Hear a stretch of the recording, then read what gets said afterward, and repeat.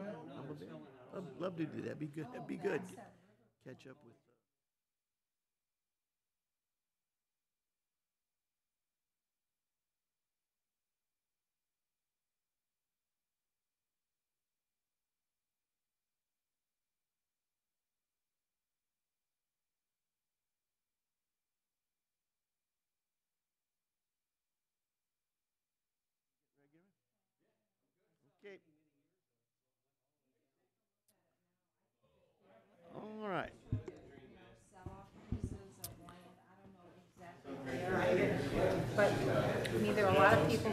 Complaining that it's going to um, affect, All right. Can I have your attention, I folks? don't really know.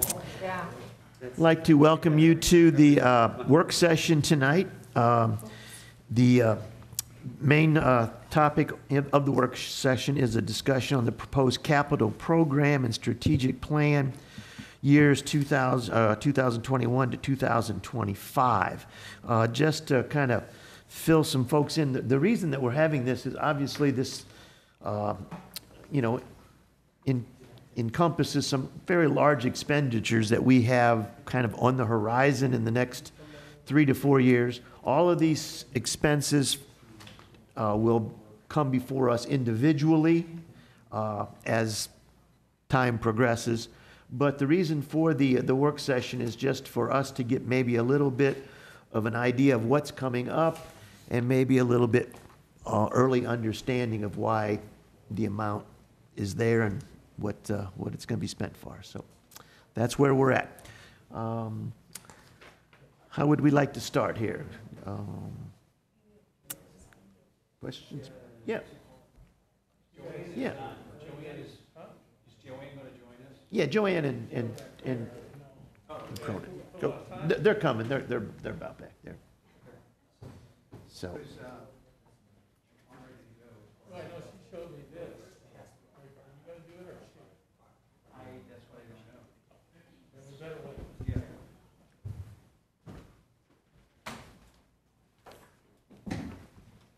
you go. You're down here, yes. Thanks.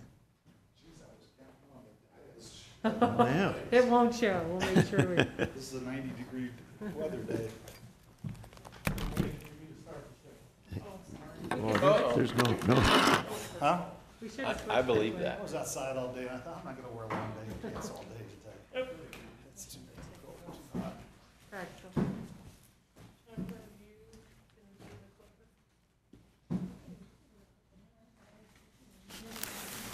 Can she do it with a bent finger?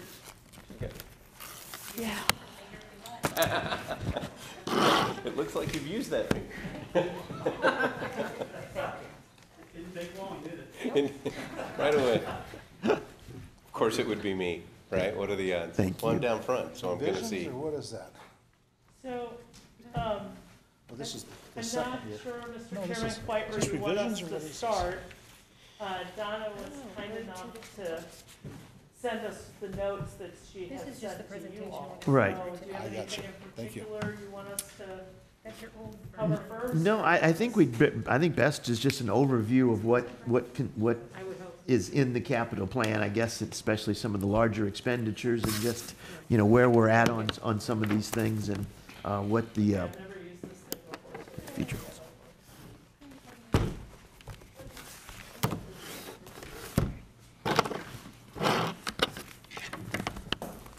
So.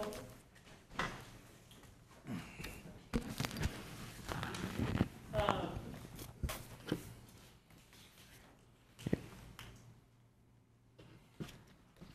So we, we just put together an overview to maybe start off the conversation. Um, so I just want to remind you that the, the plan document that you see from us, that you got from us, is um, a five-year plan.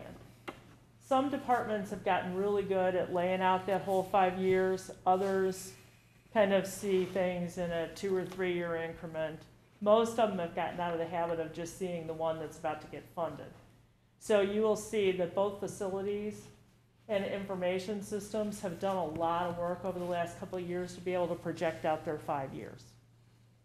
Um, what you'll also see is, is that we recognize as we go through what they've given us that they would like to um, invest in in our capital programs, that we don't want to, to tell them, no, you don't have this need. But we do have to look at in the immediately upcoming year that we are also keeping an eye on what's available financially out of the capital tax and the other taxes that support our capital investments. So you will see in, for '21, we have greatly gone through, figured out what they're asking for, and tried to match it up with the highest need that they're expressing to us, and then fit that within the budget. When we have things on their original list that we cannot fund, we don't uh, just X them out. We usually ask them if they want to roll it forward for consideration, and if they do, sometimes they want to roll it to the next year. Sometimes they say, I really want to get there, but if I can do it in '23 or even '24, that would be really good, because this is a long-term need of our department. So what we're, what you're seeing very much is in '21, we've tried to match it up with the budget. In '22, '23, '24, '25 in this budget, what you're seeing is, is that we have left their requests largely untouched unless it's something that they can accomplish in another way.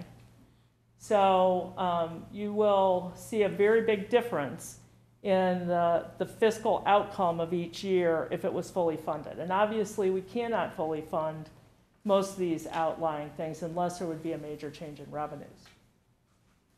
So um, again, the plan document shows the needs over five years under those circumstances that I've just described. Um, It also includes detailed maintenance schedules for facilities and information systems. We have a lot of money that's invested in the maintenance of our facilities and also in the maintenance of maintaining the entire infrastructure of our um, information systems department. Um, So we also, you will see in this, in this capital document, we don't necessarily include um, like the bond payments or fleet maintenance. Those things actually appear in the budget. But we've given you an insert in this where you can kind of see what those things are. Uh, So 2021 is balanced to expected revenues, including um, lapse that we may have from this year. And, uh, but out years are not supported by the documents. So, um, few things is, um, we have, uh, two things about the Justice Center that are in the capital plan for out years. One is the um, conversion of the units on the third floor to direct maintenance, or pardon me, to direct supervision. And obviously, those are things that we can do it in the existing building. Uh, But it, because it's about eight hundred thousand a unit to convert those, we have them planned over four years, beginning not in twenty-one, but in twenty-two. Because we, we've had the benefit of being able to do the renovation to booking uh, this year. So they'll have some different um, procedures in place because they will have an up-to-date and modern booking facility. Uh, So we, we held that out. We've also got the um, renovation of the remainder of the facility by building the new space in there, and it's in for 23, 24, 25 as 30 million, 30 million, and 20 million. In other words, another 80 million to complete the, um, the changeover. And obviously, that doesn't happen unless there's a funding source for it. Um, There's also um, 4 million in arena maintenance and improvements right now that are really beyond the ability of the, of the fund to do. And I know some of you have had some questions about how we might be able to do that in future years. Um, The other thing that we wanted to point out is, is that as we go through that exercise in each of the years to come, that what we're seeing is, is that we're gradually having to switch over to accomplishing maintenance or fixing things in a bigger way. So a replacement of an HVAC system, or do we limp along with it? And that's moving us towards dealing with things on an emergency basis. Trying not to get there, hoping the equipment continues to operate until we can get to it. But we're very much on a, on a sort of um, pay-as-you-go, which we should be, but pay-as-you-go where we've got a lot of equipment aging out at the same time.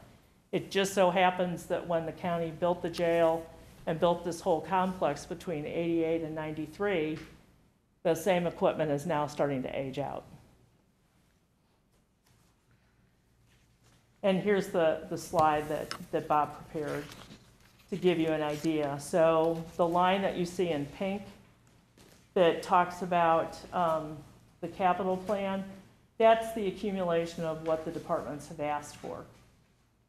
Um, And then below that are the things that we have an obligation out of that capital plan, no matter what. We have rental on a facility that we use for maintenance and that we have workforce development in. Family arena bonds uh, have to be paid every year, the EOC bonds.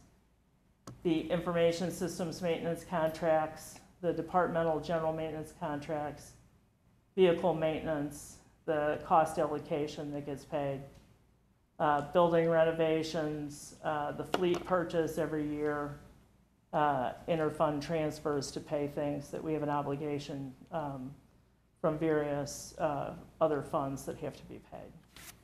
Okay, Can I ask a question about this slide? Absolutely. Total revenue, the second line across, twelve million and twenty-one, thirteen, twenty-two, then it jumps to forty-three, forty-three, and thirty-four. How do you explain those, those big jumps, Bob? That, uh, Joanne mentioned earlier, in twenty-three, four, and five, that includes the eighty million for the, for the jail renovation, thirty, thir- thirty million, thirty million, and twenty million. If you're going to include it in the capital plan, the only way you're gonna be able to pay for it is to have another source of revenue. So I've added 30, 30, and twenty to the revenue side, just to keep the bottom line of what you wind up with at, at ending fund balance, um, reflective of what our, our fund balance is, what, and fund balance. So that is projected revenue, assuming we get additional funding of some one sort or Correct, other. right. The, the actual, the actual real, if that doesn't happen, the actual revenue is gonna be somewhere around twelve to thirteen million? Right. Right. Okay. 13 Subtract million, 30, 13 30, million, and 20. Okay, 14 all million. that's all I need to know. Yeah. And that first line is the beginning fund balance, so that's assuming the lapse from the previous year.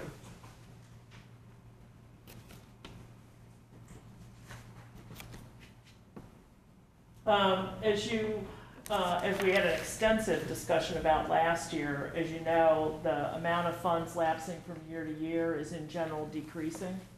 Uh, that's in part because uh, we have especially two very um, good department directors who are getting their projects done year to year.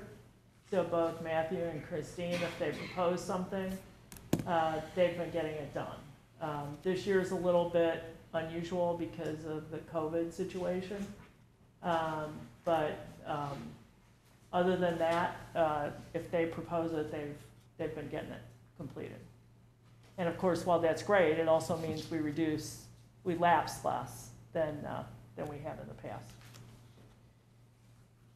Um, The facilities management plan, um, I know Christine is here, do you want to speak to?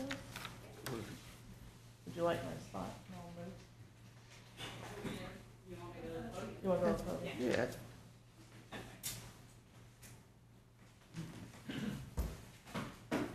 Okay, so on our facilities management budget, if you're basically looking at the budget in terms of what does it take to operate the building? What does it take to maintain or upkeep the existing infrastructure or improvements? And then also building modifications. In an ideal world, we'd be really asking for $5 million. 2 million of it would be for our general operations. How do you keep the lights on? How do you keep everything operating? That would roughly take $2 million every year. If we go to improve our infrastructure, we have, as Joanne mentioned, aging mechanical systems, aging electrical systems, plumbing. We have roofing that's still 20 years old plus that, that needs help. Certainly the last few storms prove that. Uh, We also have uh, parking lots. A lot of problems in some of our parking lots. So if you go through and you add up all of those things and you chip away that over a mm-hmm. few years, or not just a few years, many years, you still need about $2 million to address those. Then the last piece of it is, is making modifications. We can't continue to provide the services in the same way we did 30 years ago or 20 years ago. Technology has proven things can change, and we need to adapt to that. But our physical infrastructure of our building, our physical walls, the physical way we, we do our business, our real estate does not support how it should be done today. So that's kind of where that million dollars comes from. So, in an ideal world, $5 million. But this year, we're asking for 3.5 because we can get by with that. We're doing a few modifications this year with some pretty major mechanical systems, uh, but it's, it's a little bit of a drop in the bucket compared to what we need to be doing. We've got in our construction management, so construction and facilities, it's, it's now all under facilities management, but the construction side, we really stripped that down.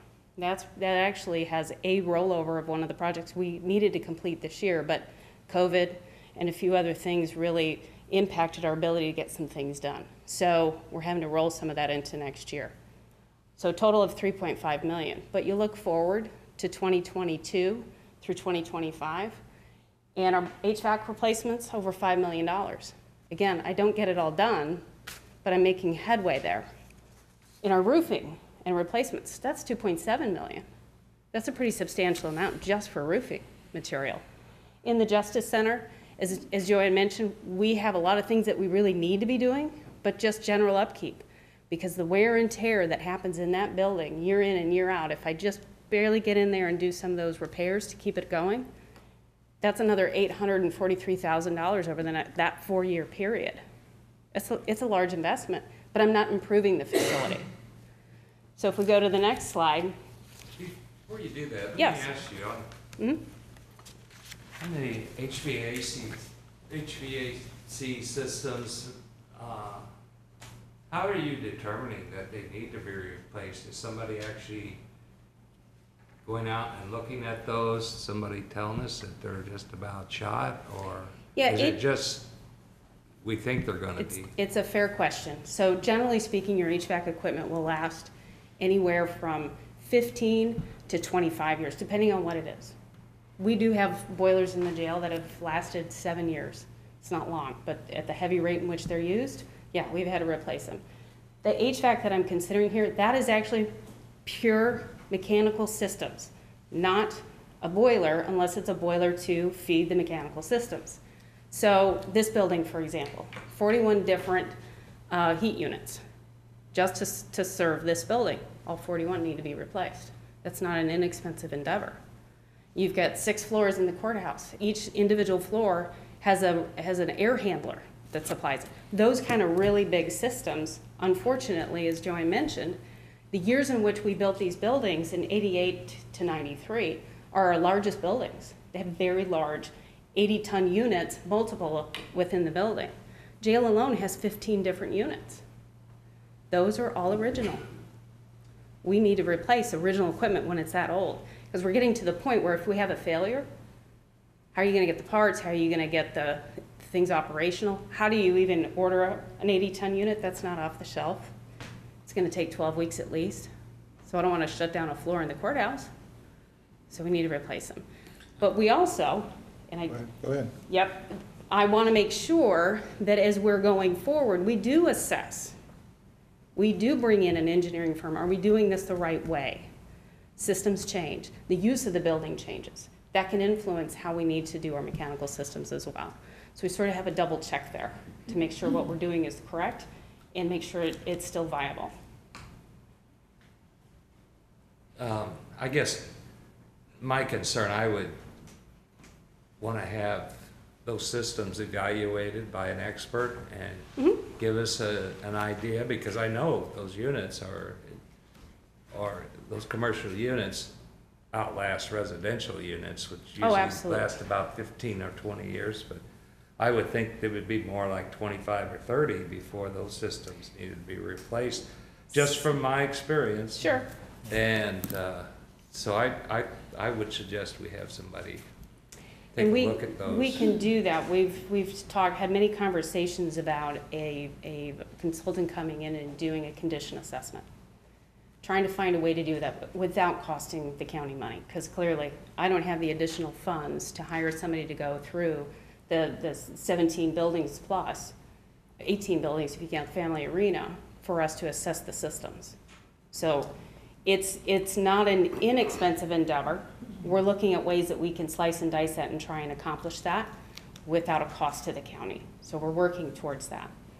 Um, Excuse me, so you don't have employees here who would go out on a regular basis? Oh, we do. Regular would be, to check to make things, sure things are Absolutely. working and to troubleshoot, you do that? We do. We have three current staff, and we actually just were able to, well, we have an offer out to hire yet a fourth one for specifically just HVAC. And it is actually of their opinion that we, we do replace it. Our supervisor for HVAC has been with us for over 20 years. He is the one helping us to determine, because he's limping it along. He's helping it out.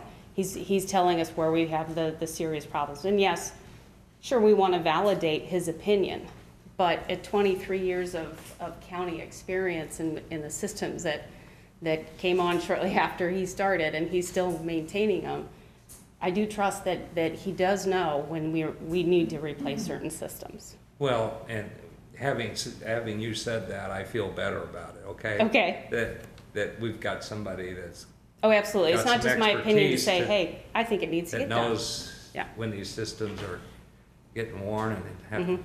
so Yep. that, thank you. Sure, Mr. Cronin? I have owned quite a few commercial buildings, and I've dealt with those commercial HVAC systems for Mm-hmm. thirty years, okay? And uh, just a couple of things, your normal technician guys that you have on the payroll can tell you the condition of those units, okay? Mm-hmm. The hard part is figuring out how to replace them, and that's where you need engineering. Mm-hmm. When, from what my experience is, on older units, thirty years, thirty-five years, that's tops, okay? Mm-hmm. And the new stuff doesn't last that long, but the new stuff is significantly more efficient. Yes. And like one building, I had three big rooftops, one of them, the biggest one being a twenty-five, no, thirty-ton unit. Mm-hmm. And we replaced it with two smaller units because the new ones run so more efficient.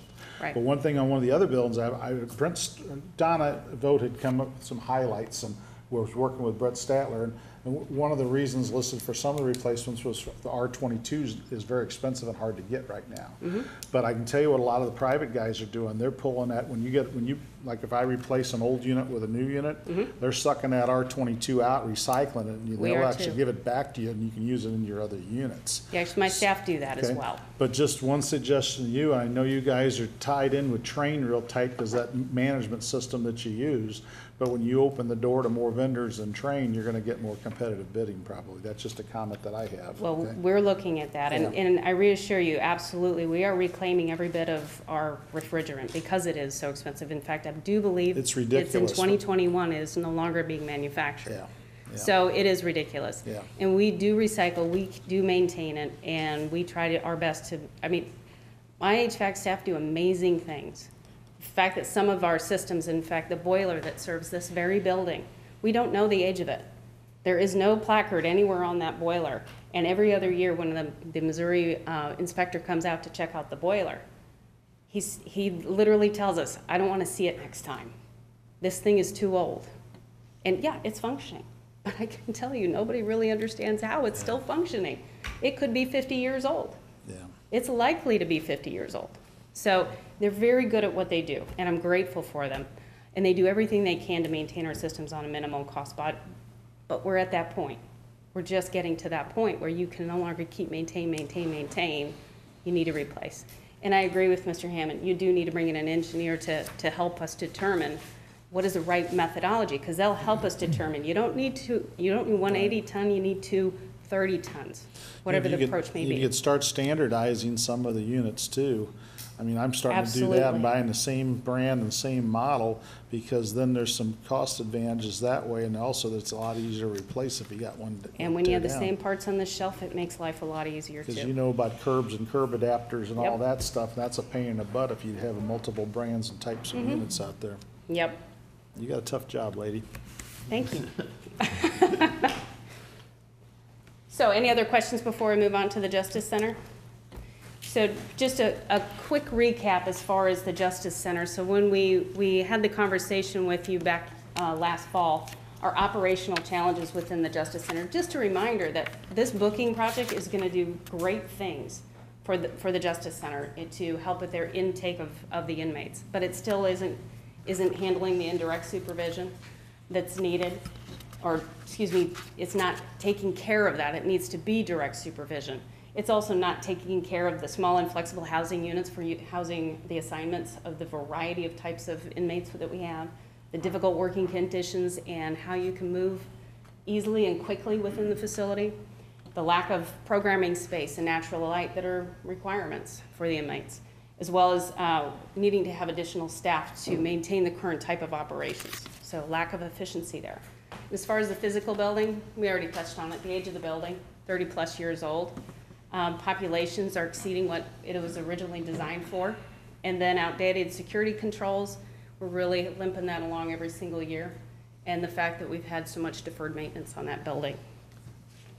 Those things are not covered in full in this budget. And then if we're able to find the funding, which we know, we have to find the funding.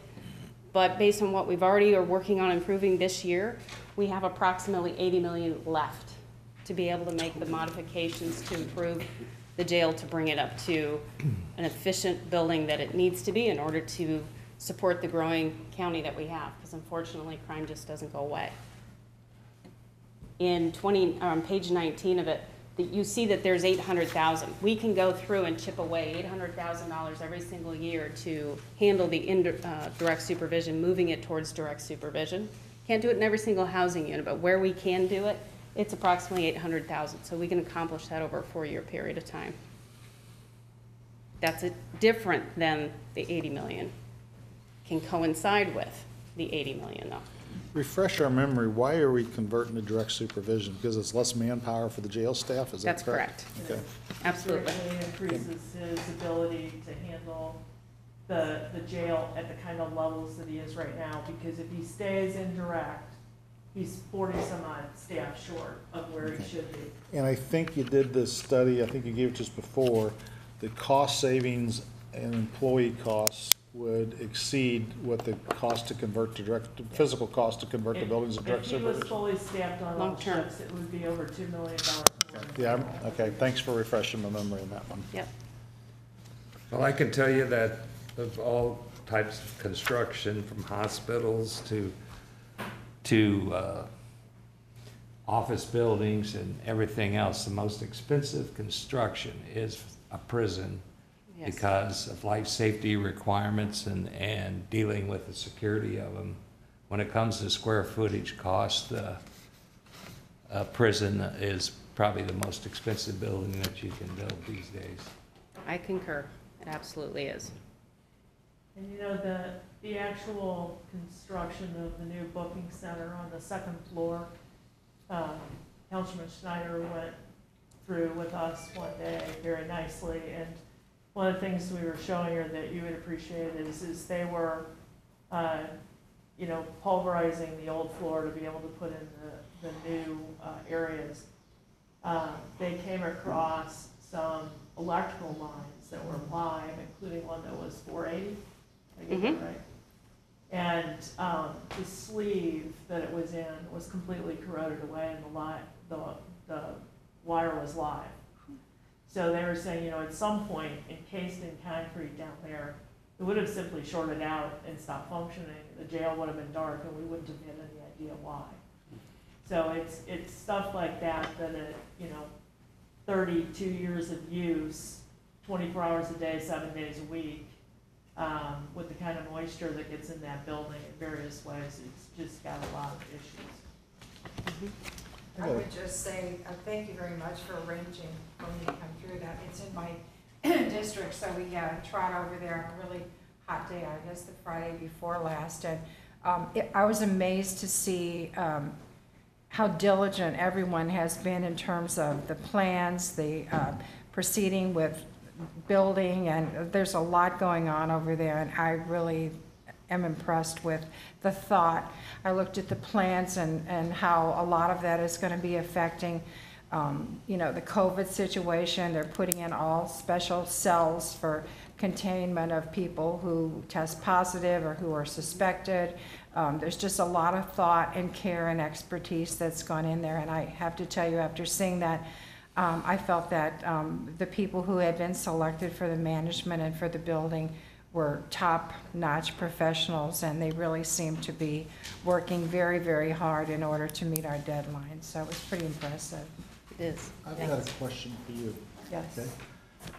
We've had this discussion before. I, I know from personal experience from crooks that have gotten, taken advantage of me, the ones in jail, that jail right now, that it takes a long, long time before the cops pick them up and they get charged, okay, especially they have no money for a public defender, before they actually go to court and get educated, okay? So my question would be this, uh, and I think part of that problem is, it's the state's best interest to keep them in the county jail as long as they can because they're not paying for them, okay? Yeah, they're, they're Right. being charged, but they're Yeah. not paying their bill. Right, at the same token, it's the The state. feds are paying though, I think. It's the state that's, the state that's also hiring the public defenders who there's not enough, which keeps them in the jail longer. So Joanne and I have talked, talked, and I have talked about this, uh, instead of spending eighty million on the jail, can we lighten the load up on the jail by, by actually maybe hiring county public defenders to get those guys, either cut them loose if, or, or if they go on probation or they're innocent, or get them to the prison and get them the heck out of that jail? Is that something that's feasible in your opinion, in your opinion? Um, You know, it's such a complicated situation. Um, You know, like I said, you have to, these people have the right to have an attorney, and one has to be appointed for them. Um, The state is having the same budget issues that the county is having. I think they've put more money lately into the public defender system, but sometimes the public defenders, we've had the problem where they were deciding what their workload should be, and they were kind of slow walking, I think, some of those cases, to be honest with you, and uh, complaining that they didn't have the resources to adequately represent all of the um, defendants to, to whom they have been assigned to represent.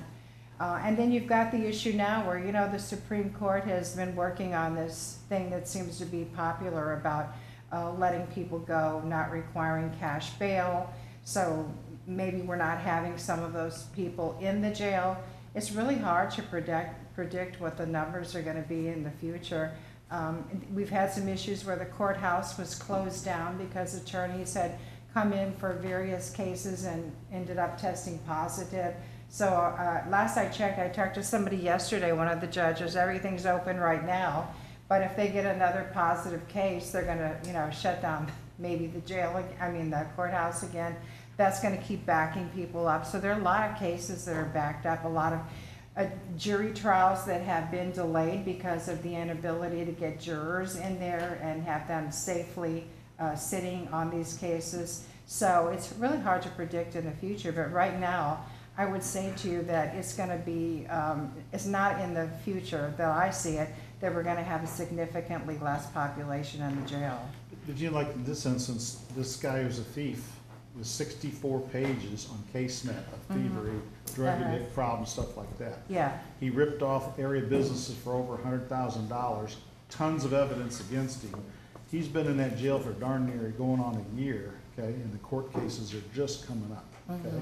So that to me, just, I mean, you got a, a, a pretty much hardened criminal, gets caught red-handed, it just still takes a year from the time you, the police put him in there to the courts send him on to Jeff City, you know? That's That where I, seems- that's what I'm having trouble that with. very unusual to me. I mean, first of all, you know, if the case doesn't go before the grand jury, the person's entitled to a preliminary hearing.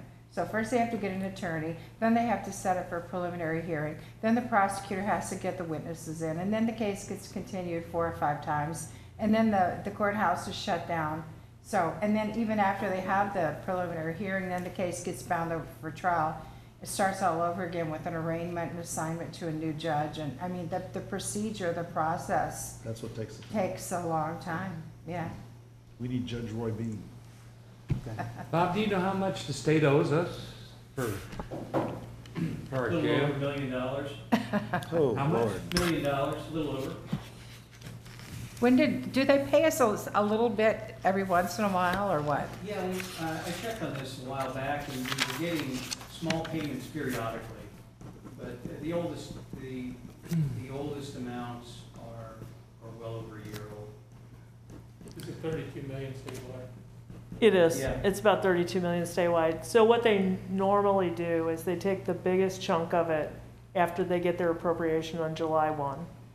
And Just they, Parcel it out. they parcel it out. Yeah. They used Yeah. to have a formula, the first in, first out, but they got, they had some fairly big jurisdictions who were always late to getting their bills in, so they kind of stopped that. Yeah. So everybody gets something, as I understand it, and then they kind of stop, and they wait to see if there's lapse in any of their other payment programs, and they might transfer it over there, which is the smaller amounts that Yeah. Bob's talking about. But mostly what we Very get, what we get this month is probably what we're gonna get, except for some small payments in the spring. Do the feds pay good? Yeah. They do, Yeah, they do. they're Yeah. prompt and Can- timely. Can our state senators do anything to get us our million bucks? Well, if they got us our million bucks, they gotta come up with about thirty-one, eight, I think it is, for the rest of the state, who are all Yeah. mad too. We're, we're not that high on the priorities list, and, you know, with the medic, the, um, you know, the amendment two passing, we're gonna be looking at some real problems with budgeting. Mr. Elam, you have a It's gonna question? get worse. So I was just curious, when we went through the whole jail plan, I think we had four different plans that we looked at. We agreed on the ninety-three million dollar rehab plan. Is that correct? Yes. So that's the plan that. But we're- you, I do wanna just correct you about one thing. You all did not vote that night. We recommended that, we were near the end of the meeting time. The meeting, uh, as I remember, the real meeting was supposed to start. And you said that, you all said that sounds good, but there wasn't actually an adoption of Yeah. that. Yeah, I, I had that same question, um, Mike, and I remember having that discussion with Joanne a while back. I'm like, you know, I assume this is what we're doing, but I don't remember that we took a formal vote on it. You did not. All right, so that changes my question. Go ahead. So where do we sit on this? If, if, I was, I've been working under the impression since that meeting that we agreed, and perhaps it was just me, so sorry for being uninformed, but I thought that we agreed we were moving forward with the ninety-three million dollar rehab plan. So where do we sit on that? My, my, We my can't spend money recollection, until we have it. my recollection was that we, we, we agreed as a group, but We not didn't with a vote. formal vote. It Yeah, was no Is that formal correct? vote. yes, exactly. All right, so are we still waiting on that formal vote to be taken to move ahead with that program, or I'm We- seeing, I'm seeing We no? need a formal vote that, that's what you all concur in, but we also need funding to be able to do it. There was no source of funding to do Okay, that. so We again, have I thought we talked about that evening, that, I thought we talked about a bond program to raise that money. Did I misunderstand that as well? That would be the vehicle under which we would pay for the project, but you have to have the, the annual funds available To pay the the bond obligation for the debt service. Okay. And that's, that's the missing component.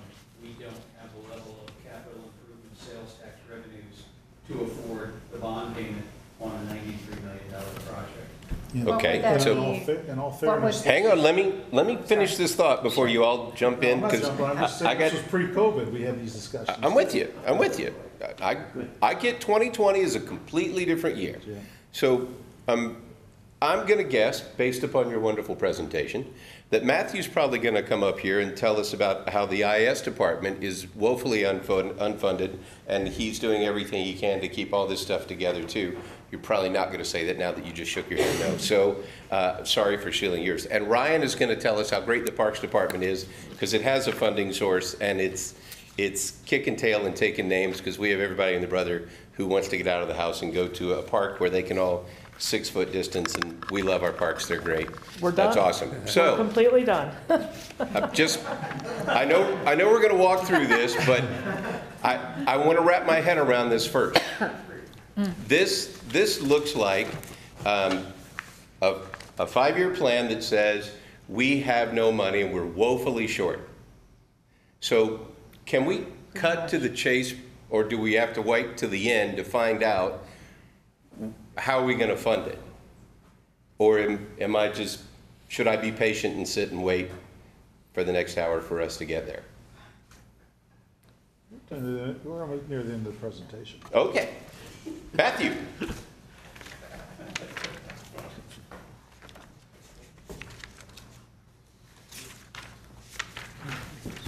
Council members, executive Ehlmann. Um, Last year, the IS department had a lot of replacement, and so like you, like Christine mentioned earlier, how kind of maintaining equipment, maintaining equipment need to replace. Well, the IS department went through a replacement of a lot of equipment over the last 12 to 18 months. So we're in a position now where we are starting to maintain that equipment and actually coming up with a schedule so that we are maintaining that in a uh, systematic approach so that we don't wait for a catastrophic failure to replace items, that we're replacing them on a proper schedule.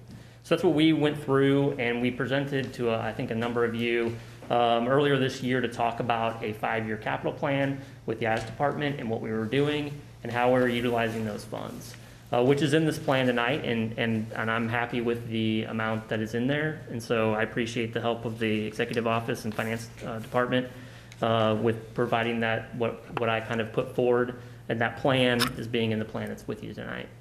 Uh, That's the first bullet point of what's in there. What you'll also see is in there is that we're continuing to upgrade uh, our cameras and our door access system uh, across all the county facilities, so that we're all on one system. Uh, It's an updated system with card access, and uh, makes it more secure for our employees as well as visitors uh, who are visiting our facilities. What you'll also see in there is uh, building out our uh, fiber network to county facilities. And I think this is an important one because the more facilities that we bring on to uh, our private fiber is less money that we are spending in the operations side uh, towards a internet service provider uh, or somebody who we're leasing fiber from. Uh, that puts it in our back pocket. That's something that we can use, and we never have to pay uh, an agency or another entity for those costs. That's, that's something that we start to see benefit on immediately once it's connected uh, to those facilities. And so we have some continuation of funding in there, the five years, to kind of bring on all of our uh, areas onto the fiber. We're also working on cybersecurity. Uh, that's a huge uh, importance. I think you'll see uh, pretty much uh, every day there's probably a news story out there that you can uh, read up on of a company that has had a data breach. Uh, and so we're making sure we're taking a concerted effort, looking at how our systems are set up, making sure that we're secure and we're keeping this, the information of the county secure uh, in terms of employee records and, and other records that are in, in our you know, databases, uh, making sure that those are secure. So that's something that's obviously at the top of our list as well. And finally, you know, there are uh, departments who uh, need to upgrade their applications and different upgrades that go on in their departments. And so you'll see in the, in the budget uh, that there are some, uh, some applications that need to be upgraded. And, and those departments have put that in there, and, and our department is there to help assist, uh, work through that process and get that stuff implemented for them uh, so that they're being able to be more effective and more efficient with the tax dollars uh, for the residents of the county. So uh, that's a summary of, of what's in the budget for the IS department and answer any questions you may have. Sir? I had the previous capital plan too, okay? So, and in 2020, it showed for your department about 8.8 million. Is that about where you're at? Are you under that, or where do you think you're at for expenditures? We're a little under that, um, not by much, but we're, we're a little under Okay, that. so basic, and then, for instance, last year, it was 8.8 projected for this year, and then it was about a steady 4 million a year going out.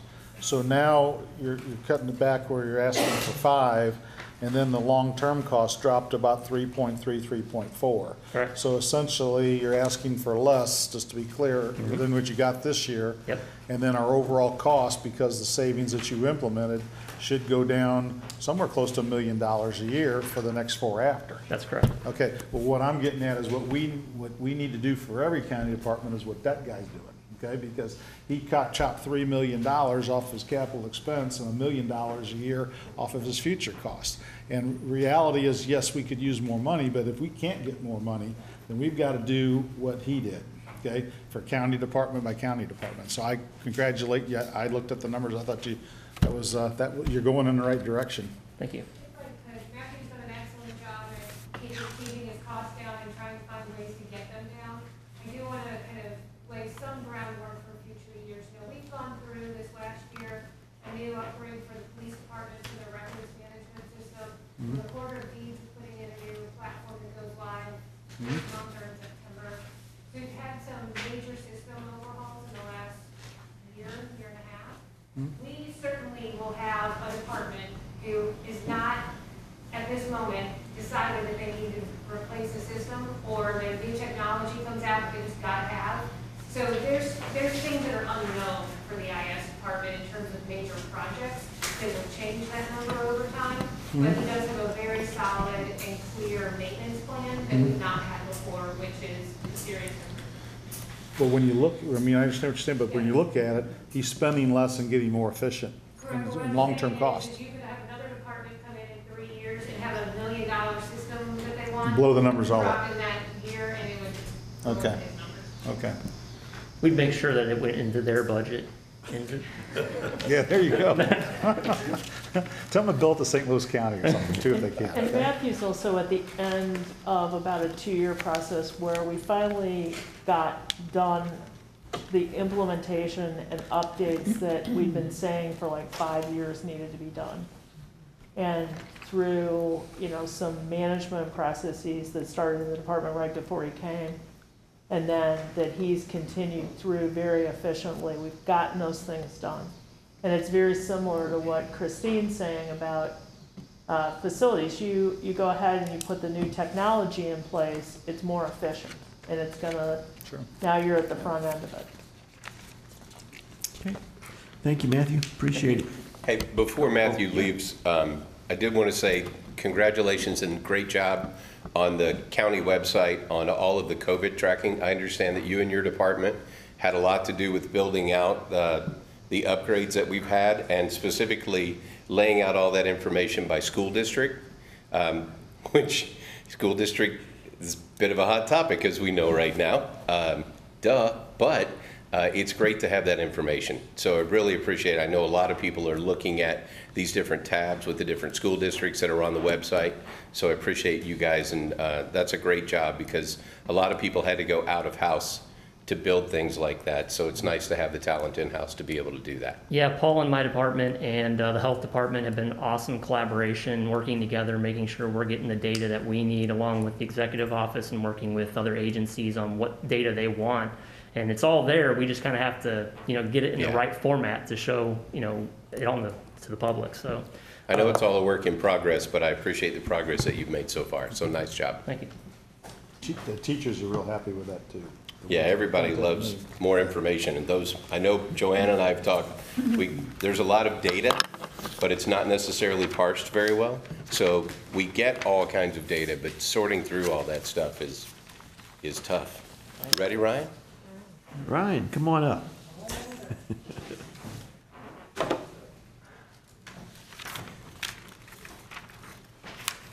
You saved the good news guy, right? Uh, Good evening. Exactly. Good evening. Uh, Thank you all have received uh, the park strategic plan that we put together um, for uh, 2020 through 2025. Um, Just talking uh, through some points here. Um, The first couple pages, you can see where our current park acreage sits at. It's currently sitting at just under 4,000 acres at 3,947 acres. 17 open parks with three parks uh, in holding. Um, On page five, you can see where all those parks are located throughout the county pretty much showing that we have pretty good spread throughout the county uh, where our parks are at. Um, There's some information on the Parks Advisory Board and the Parks Foundation. Uh, Some operating goals uh, that we have of just increasing visitor uh, satisfaction, customer satisfaction. We do regular polls of people who rent facilities to us. And then this past year, we've also started a program called Six Foot Ranger Surveys, where we uh, interact with uh, the public and ask them about our parks and get feedback on what they are happy with and what they would like to see and those sorts of things. Um, We have a goal of achieving 1.3 website visits annually by 2025. Um, And in 2025, we hope to achieve an annual attendance of 3.25 million. Um, With the COVID epidemic, as uh, I think uh, Councilman mentioned, uh, there's a real big desire to get outside and be out in the nature. And we've seen that increase throughout our numbers. In 2019, uh, we had 2.5 million people, which was an all-time record of park visitation uh, to our parks. Uh, At the end of July, we were 1,800 people shy of hitting 2019's record. Um, So people are coming out, um, uh, finding our parks for the first time. I think I sent out an email uh, from a citizen who has traveled all around the United States and uh, was just so pleased that he found these parks uh, in their own backyard. So give you a, uh, moving on to page 11, um, where we, we talk about maintenance goals and, and operating of the parks. Um, Page 12 shows our current uh, inventory and liability of our acreage, tent sites, cabins, picnic tables, trash cans, uh, lakes, those sorts of things. Um, Moving on to our programming goals, increasing programming and partnerships um, is obviously a a good goal to have. You can see here on page 16 the 2019 numbers in terms of rentals, um, park visits and programs and special events, uh, which were up. Um, This year with COVID, we've had to cancel a number of programs, reduce some, some programs, and, and get creative. Uh, Some of our more uh, creative programs and some of our new programs have actually sold out to the point to where we've added additional nights and additional, uh, you know, smaller groups, but uh, more nights uh, available. So we're pretty, uh, I'm pretty proud of our program staff and, and the offerings that they're doing here during this pandemic. So um, on page 18 through 19, uh, you can see some of our goals to develop those, those parks and holding, um, as well as increasing our acreage uh, from, you know, 3,610 acres, which was in 2018, uh, to approximately 4,500 acres in tw- uh, 2025 through acquisitions, partnerships, those sorts of things. Um, Additional trails, walking uh, paths, um, increasing lodging. Uh, Klondike and Indian Camp Creek are only two parks right now where you can camp. Um, Klondike has cabins and tent camping. It's a very popular thing. We think um, what we're seeing a national trend with uh, obviously the COVID stuff that people are wanting to find these staycations and they're identifying places around their state and around their community where they can go out and go out for a weekend or even longer um, without having to travel a, a great distance. Uh, we think that's going to be the new norm for a while, um, and we hope to increase those those opportunities for people to come out and, and to enjoy our parks and everything St. Charles has to offer.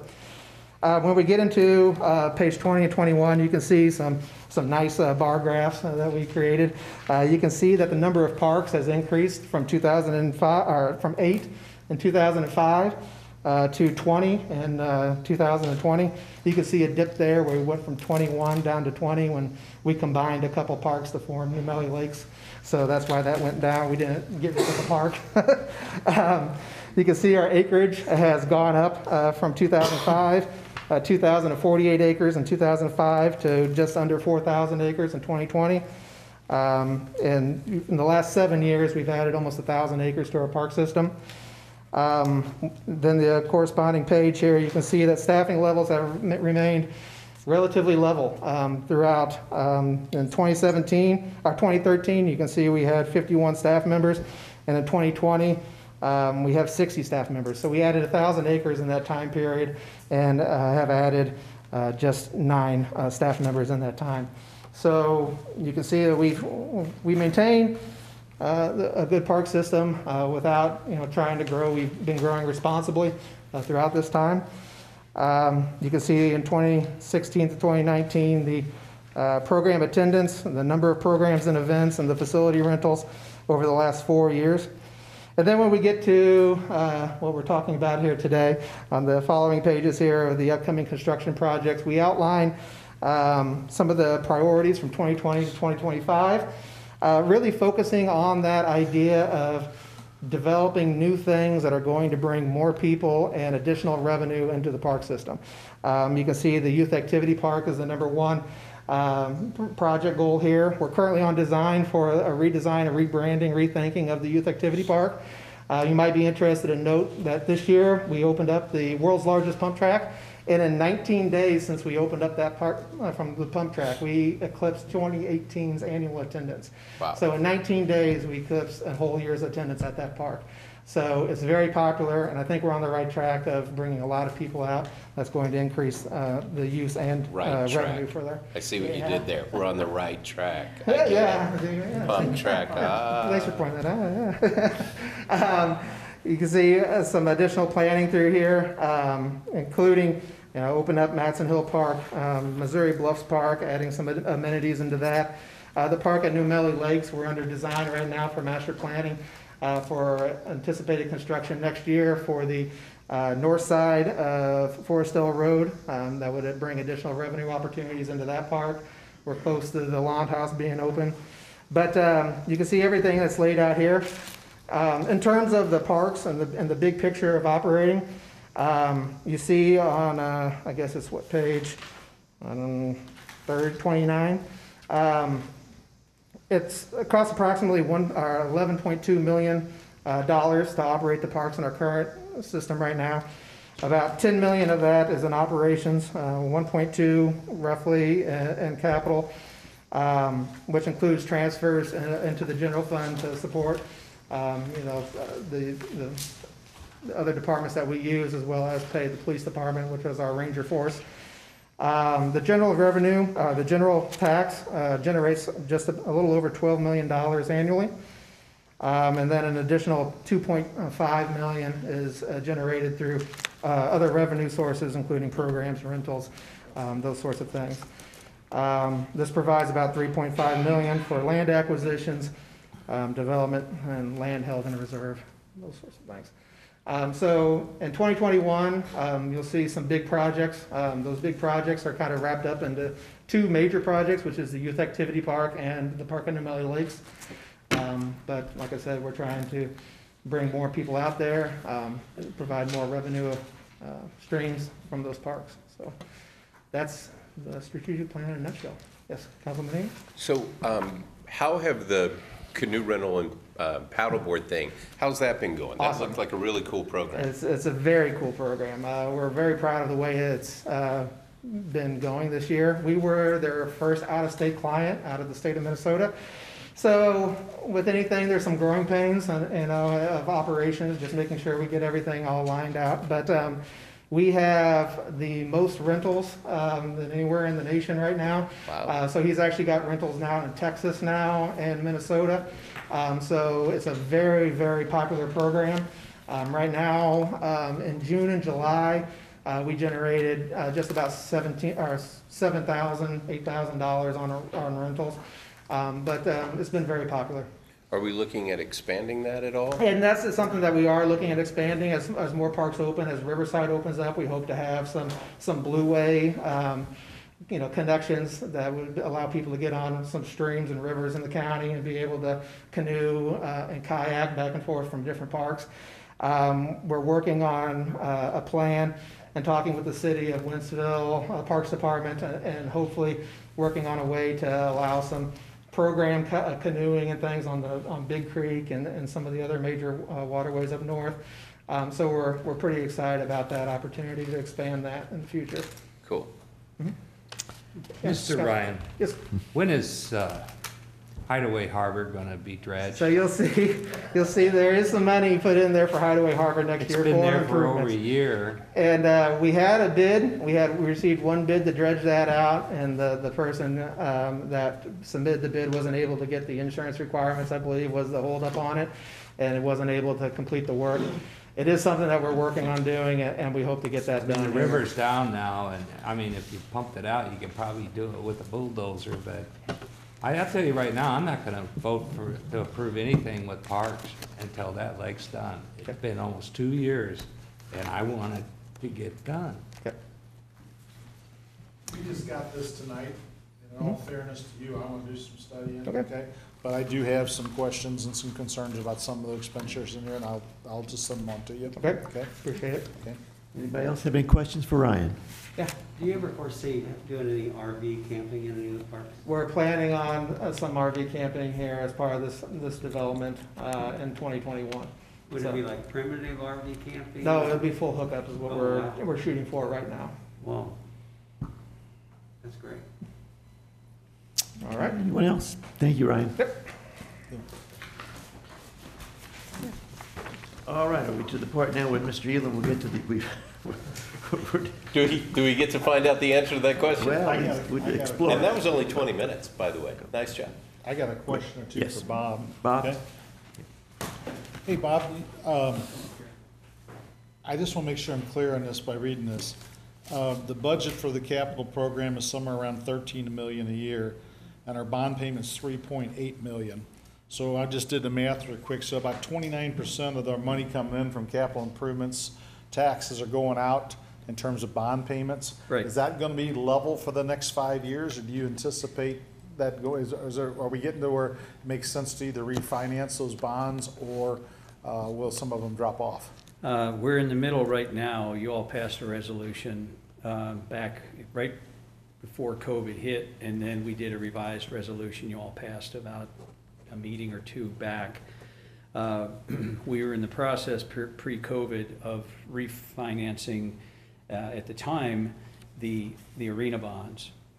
And um, knowing that later this year, and and specifically this month, we would be also eligible to refinance the, the recovery zone bonds from the radio project. Um, Because of COVID, we are now doing both bond issues as a refinancing. It's going to save the county about $2 million over the remaining nine years of the, of the bond term um, that we have running through 2029. What happens with our bond issues is that the arena bonds pay off completely in 2025.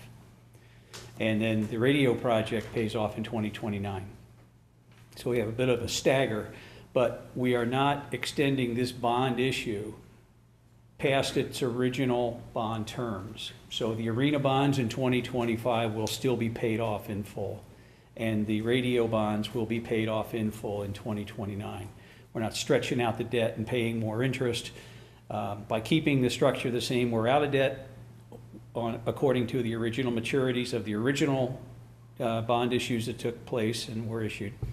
And we're, we're just not kicking the can down the road, so to speak. And Councilman, can I remind you too, that we, we did the most minimum restoration of that little piece of the capital improvements tax that fell off. So the, that, um, point five falls off, um, when the arena bonds are paid off, because then the arena payments were gonna pick up, So so your the revenue's rest gonna of that drop then? right? Okay. For what it's worth, and this is the lowest municipal bond rates I've seen like thirty years, probably as long as I've been tracking them, okay? Right. So, you know, prior to this meeting, you made a very interesting comment, said, Joe, would you please tell me how we can come up with thirty million dollars? Well, if you wanna do it, it ain't no cheaper than time to borrow than it is right now. So, I mean, mm-hmm. that make, that factor into the jail discussion, okay? True, it, it, the bond rates are at historic lows, and that's, that's why, you know, after we went through the craziness right after COVID hit, where, where the bond market just fell apart for a while, it's pulled itself to- together pretty quickly at even lesser rates than what were present at, prior to COVID. One point six, one point eight? Yeah. Okay, that's crazy low right Right, now. so, um, and there's, there's demand for these bonds out there, so we expect a good sale when we go to, to market on the bonds. But you're right, eh, right now, the, the bond payments are taking a chunk out of the available revenues out of the capital projects fund every year. Um, on the exhibit that, that we had in the slide show, and I don't know what page that was, the one that showed the capital fund, uh, uh, that's the parks there, though. Yeah, in, in this, Councilman. In, it's Yep. this, this schedule here. Okay. Um, You can see that the, the family arena bonds drop off and, uh, there's a small payment scheduled in twenty twenty-five, and that's the final year of payment for the family arena bonds.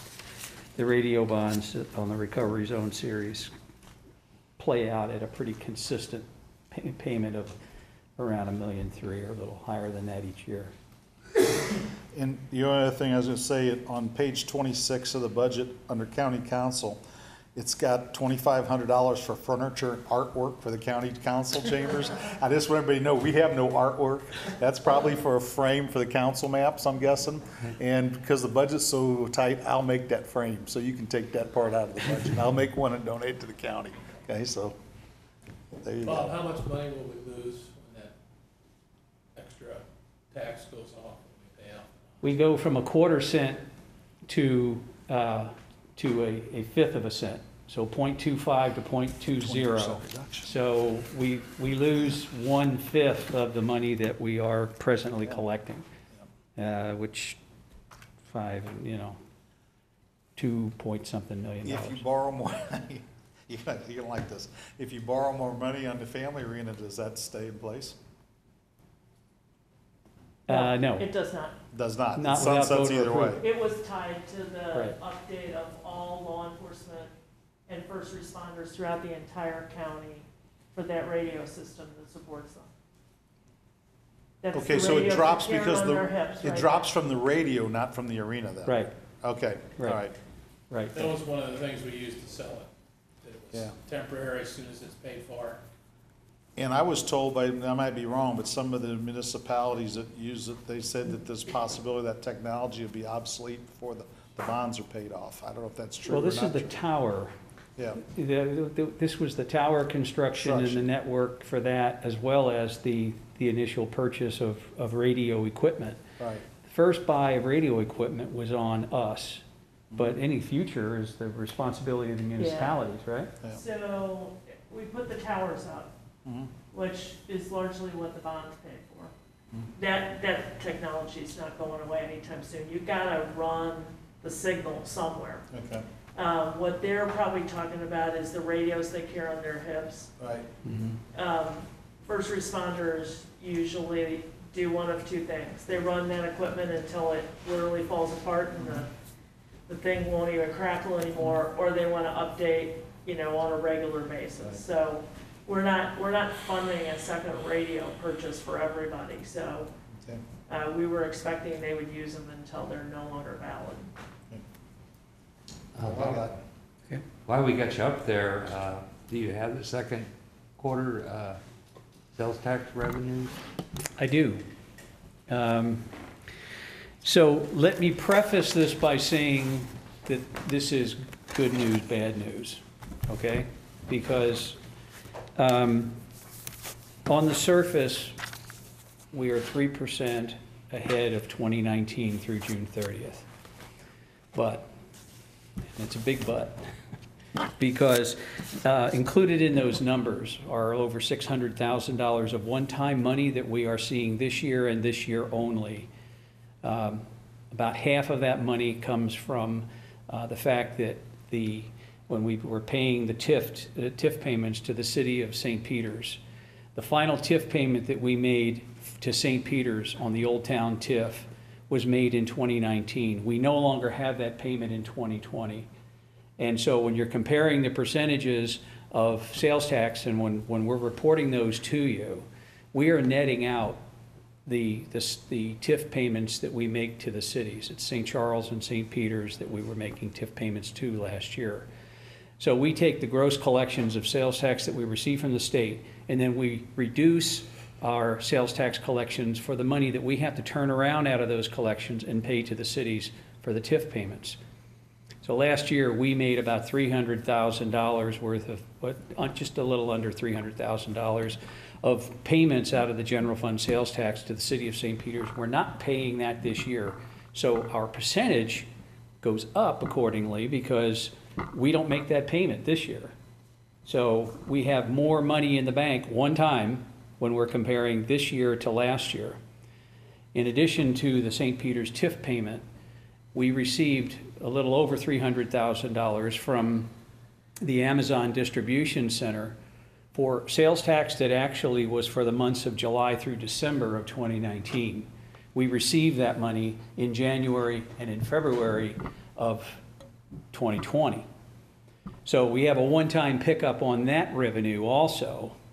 But that comes around and, and bites us next year when we're looking at January and February of 2021, where we had this extra one-time payment in, in the bank in 2020.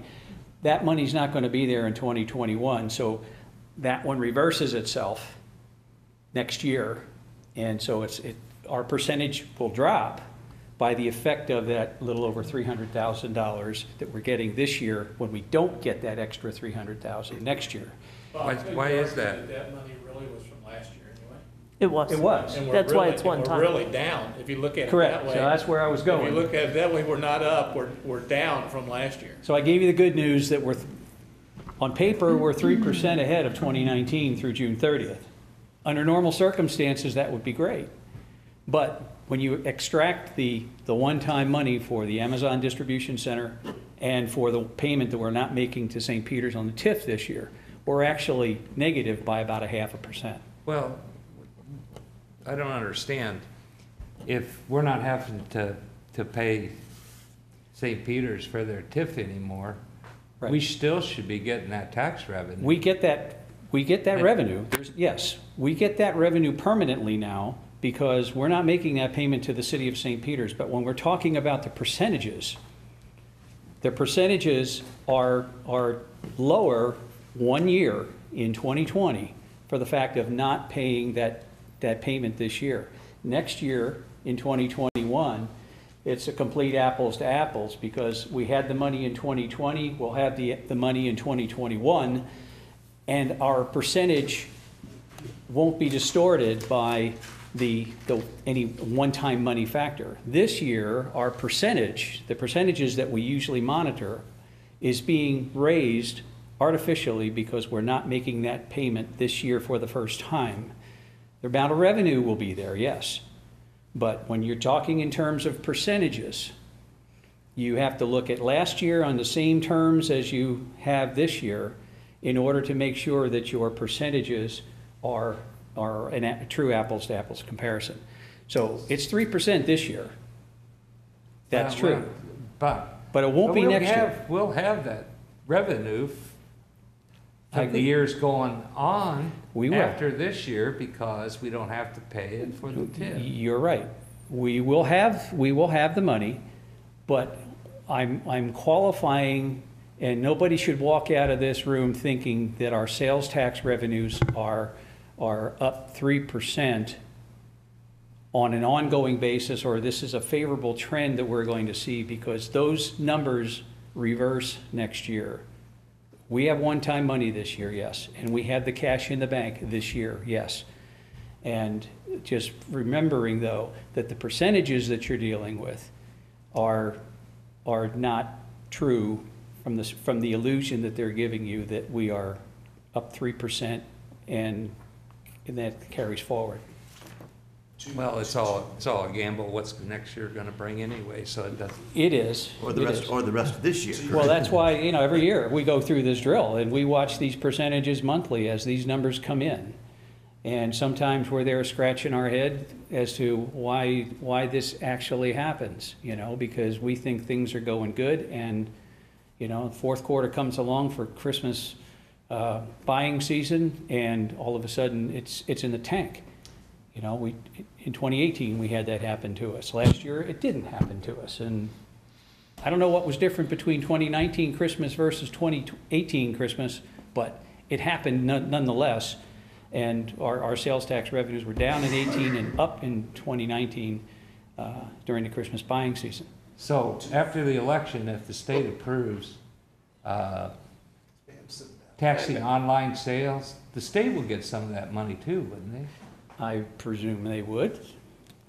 Okay. What we're talking about is to, to to paraphrase John uh, White, this is, these are peanut questions. I'm gonna ask you the sirloin steak question, okay? All right? Because this is small peanuts money compared to what the question I'm gonna ask you. If the state legislature next year would follow the governor's lead, okay, and, and let the counties collect sales tax, the state collects sales tax and the counties get the sales tax on internet purchases, like forty-eight other states have done, okay? Have you scrunched any of the numbers to see what that would do in terms of extra revenue for the county? No, because um, there's too many ifs in, in that world. Um, but Right now, we don't have a true read on what, what our i- true internet sales numbers are. Um, We could Yeah. look at s- similar states that enacted that legislation and look what Yeah, they, you could what look they at- got on a per capita basis. You could we? look at trends that way. Yeah. And, and I would, I would tell you that I would think that revenues would go up. Um, But how much, I, I couldn't really tell you. Prob- Yeah, there's a lot of ifs in that. Probably a lot, though. I think, I think one of the, one of the most, Especially in a COVID world, you look at those Amazon and all the other trucks around, although we're collecting some on Amazon now. We are, we're collecting about eighty-five thousand dollars a month in Amazon sales tax. Do we know what percentage of the market is Amazon? I'm sorry? if we know we get eighty percent for Amazon and we know what percent of the market Amazon has, No. can we, do- I think in January. it can we was around determine then what, how much additional revenue we would get? Why do we only get eighty? Um, I don't really know, honestly. I haven't looked at any of this, any of that. too. Why wouldn't get hundred percent? Well, you know, I, I think one, 80%. See, it said you get eighty percent of Amazon's. Okay, Why would we get- not get hundred percent of what they collect? So A- Amazon first nationally entered into an agreement to voluntarily collect sales tax along the lines, and they did. And they in keep all twenty 50 percent in their states. pocket? No, no, no, no, no, no, Oh. no. So what you have to look at though It's is the collector's fee. complexities of Missouri sales tax law along with Amazon's distribution program. So for instance, now that there's a distribution center in this county, that is under Missouri sales tax law, not its use tax law. So Amazon is going to pay the um, point of sale, which is often for um, goods that they actually distribute. If they're coming out of that distribution center, the um, city of St. Peters gets its sales tax and we get ours. Um, If it's a use tax item, it's coming from Illinois or it's coming from Chicago or whatever, then, um, th- then it's point of delivery. And so we're still getting a use tax. If it's delivered in St. Peters, they get nothing. If it's delivered in O'Fallon now or uh, Wentzville, they have a use tax. Uh, But you would have to have a use tax to get it. Other states have, have joined that uh, SSTA, streamline. tax. Has Missouri talked about doing that at all?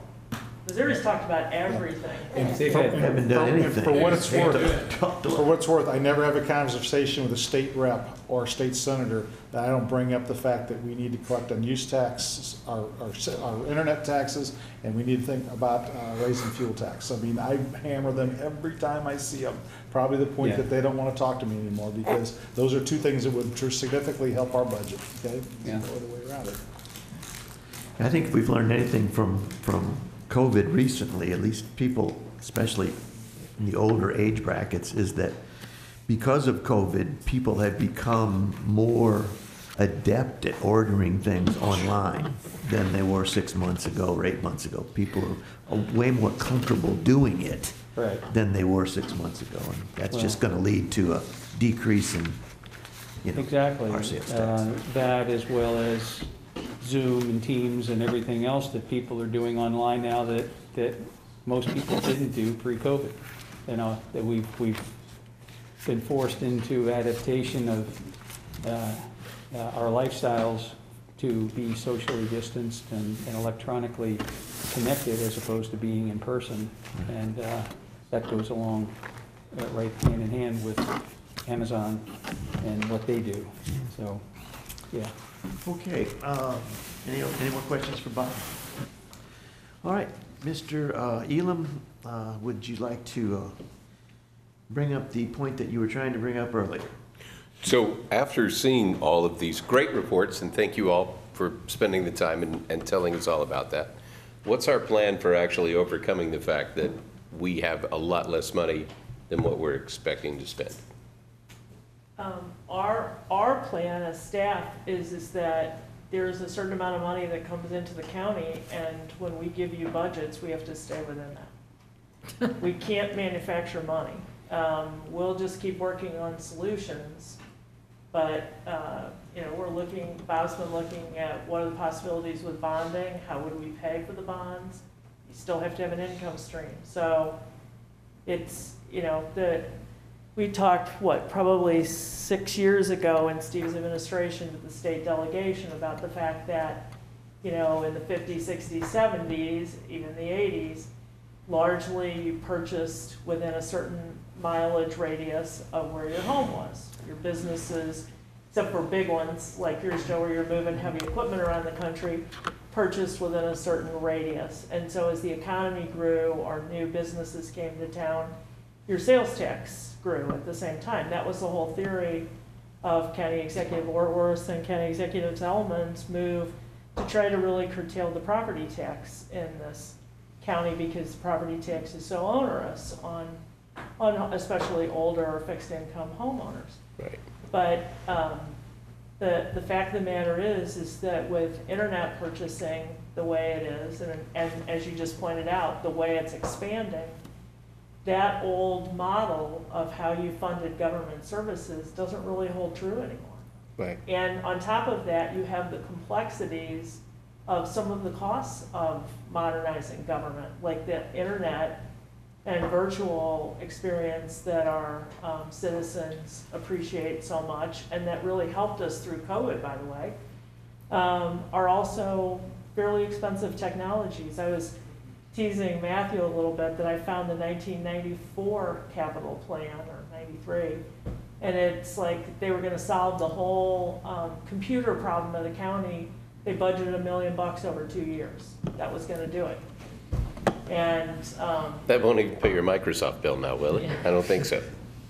So, you know, the government is, is more complex. Um, You know, you were talking before about how do you get inmates up to the state? Well, you need prosecutors and public defenders to, to move people through the due process that they're entitled to. Um, the court wants, you know, certain things. They've got a public administrator that has a huge and very complex now mental health caseload because the state's largely gotten out of the management of people with developmental disabilities and mental illness.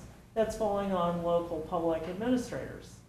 They want a court administrator. There are people eh, that we need to do plan reviews if we're gonna get developers or plan review in a timely manner. So all those things are sort of coming down on us as well as in general, uh, what the marketplace is going for and where we are with compression in the, in the middle group of our employees. But you're, you're not gonna fix that probably with just a Wayfair fix, because the legislature has very much talked about if they're gonna increase any kind of revenue through a Wayfair fix, they wanna decrease other revenues. Right. So, you know, our job is uh, to keep reminding you of where we are and what, you know, we are hearing from the departments of what we'd like to do. But it's also our job to produce a budget that's within the revenues that we actually have. There ain't a single fix to this. It's gonna take a whole bunch of little fixes added up to fix it. One thing, Steve, I think you said, well, about how much money have we spent on MoDOT, projects that MoDOT should have paid for? Ninety million. Ninety million dollars.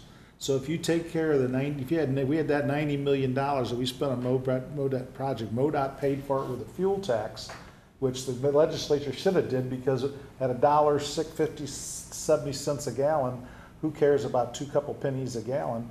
We'd have ninety million dollars more in road and bridge to take care of some of the problems that we talked about earlier today, okay? You know, the sales tax would help some. I mean, there's a whole lot of little, little things that would add up that might plug the hole, but, you know, there's, it's gonna be tough. We've talked a lot about, you know, different possibilities and different attitudes and, you know, what we're up against to try to get more revenue. The problem is that, uh, all that was based upon all of our combined experience over the last twenty or thirty years. And as we've all found out with this COVID, there's no, there's no playbook. I don't know, tell me, are, are people more or less likely to wanna give us more revenue now than they, than they were a year ago? I think uh, from, from I what, just don't just know. from dealing with the retail side, okay? I think you're gonna have to do a damn good selling job, okay? And I think they've got, they're gonna look at value. They're not looking at price, they're looking for value right now. So if you tell them with the, pr- the shape that we're in, and the fact that if we don't do something, this and this and this is gonna happen, and if, and if we do something, this and this happen, and we do a really good job of educating them, I think they would, they would uh, be more, more open to it. But I think they're gonna want us to exhaust every avenue we have, like state legislature, try to get the state legislature to do something with the state fuel tax, like doing something with the, and, and I don't think the governor's planning on reducing the revenue. I think that's Eigel's idea, the reduce revenue by, by amount equal to the general internet sales tax collection, which I think that's a horrible bad idea. But, uh, I mean, if, if the people think that we're in no other way we can fix it, we can't fix it through our state legislation, or state legislatures, and we've got no other choice, and you do a good enough job pitching to them, I think that, I think they would, they would help, because they care about the county government. Okay, I think they really do. So, No, I mean, there's, there's good signs in the economy too. Uh, But I, I just don't know what people's attitude would be. I think everybody's assumed they'd be less likely to support any kind of revenue increase, but I don't know what's gonna happen the next, uh, you know, I really thought, I mean, I thought three or four months ago we would be, you know, closer to the end of this COVID thing. Now I'm just not, I'm just not sure. I hope we are, but I don't, I don't know. I think this was a good session. I, I asked Terry to consider doing this, and, and I think if nothing else, it shows the public that we really think hard and work hard before we spend their money. So I, I thank you, Terry, for calling us. Well, I think the, the, the big thing here is that we had took, we were able to take some time, which obviously at our regular meeting, there's no way we could take this amount of time just to have a lot of these things explained to us, you know, in, in detail, whereas, uh, many times it's just kind of, you know, this is kind of uh, a general overview, so, yes. So I appreciate knowing where we're at, but I feel like we need to do some sort of take-home work at this point. Um, Because, A, I think we need to figure out something with this jail project, and we need to move forward on that in, in a vote or something, but we need to do something to actually get that part figured out. Secondly, I think we need to figure out what are recommendations that we want to look at for additional revenue ideas, whether or not we're going to go to the voters and ask for that or not. We need to at least be discussing those ideas and put them forward. I didn't know if the administration tonight was coming. I heard you say we need additional revenue a number of different times. I didn't know if you were going to make a recommendation, which is why before Matthew stood up, I, I said that, because I felt that that's what was coming, so I'm guessing that's a no? Okay, so, I, just asking. So then I guess we need to possibly consider some work sessions to talk about additional revenue ideas. Because it's pretty obvious over the next five years, we're gonna spend more than we're gonna bring in. So, or we won't, we'll stay within our means, but that means, um, to Joe's point, uh, not only Matthew's department is gonna lose a million dollars, so is everybody else. And we, uh, Ryan, congratulations, we can't take from parks to give it to someone else, so you're good. I hope to see more paddle boards, because my daughter's into paddleboarding, so at least she'll be happy. Uh, we'll all be poor, but she'll get to paddleboard, so we'll have that to move forward. But I think we need to figure out something, otherwise we're gonna walk out of here going, we're informed, but we're not doing anything. So I, I think we need, as a council, to agree to set up some sort of work session moving forward and not wait until 2021 to start doing that. I think we need to look at that now and figure out what that looks like because money's as cheap as it's probably ever going to be in our lifetime. I could be wrong, but like you said, you've been looking at bonds for over 30 years and the money's never been this cheap. And that's all I keep hearing about. Uh, when you have 0% interest rates out there, if you need to bite a bullet, now's the time to bite it. Um, so I'm, I'm just thinking we need to spend some time and have some hard discussions and figure out what we're going to do. And I think this is a real good exercise for the council too. Yeah. Because we are blessed that we have an honest county executive, okay? Our you go. neighbor to the east wasn't so blessed, and I read, skin, scanned through that audit report that came from the state, and they clearly stated the county council in St. Louis County should have watched the dollars a little closer. So I don't feel that we, none of us feel like we have that urgency with you, Steve, because you're an honest guy. Maybe you can have Brett stand up and take a bow. Yeah, yes. Yeah, congratulations. Good job. Got He some, did, he did what, eight to their two with ha a third as much money or something like yes, that? got some good press for us there, Brett. But, but There you go. unless we figure out a way to clone Steve, our next county executive may not be so good. So there you go. Okay. Is anything, anything else? I, I, I agree with Mike. I think, you know, did something down the line here, you know, we'll, we'll, we'll take a look at this. We'll maybe give, give the council, uh, some, some time to start thinking about some things and maybe talk to some people in the administration about, you know, uh, directions that they think might be, you know, feasible. Yeah. And then talk about this again, you know, prior to the end of the year, definitely. And of course, obviously, we got budget coming up, which is probably not going to be a pleasant experience this year. It I- nev- never is, but this year, I don't think it's going to be uh, any better, for sure. Yeah, it wasn't pleasant last year. No. So I'm sure this year's not going to be better. All right? All So, right, motion to adjourn. Second. okay. Accepted, thank you. Appreciate it, folks.